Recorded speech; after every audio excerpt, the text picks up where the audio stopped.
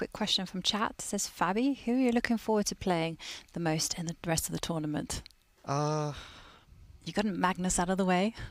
Maybe Alireza. I mean, Reza. He's, he's always very interesting to play against. He's one of the uh, most combative players. I mean, you always see he's he's going forward with against anyone with both colors.